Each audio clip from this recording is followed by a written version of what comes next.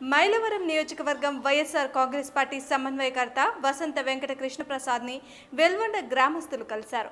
Road విస్తరణలో ఇల్లు ఇళ్ళ స్థలాలు కోల్పోయిన బాధితులకు రెండేళ్ళు దాటినా నేటి వరకు నష్టపరిహారం రాలేదంటూ గ్రామస్తులు ఆవేదన వ్యక్తం చేశారు.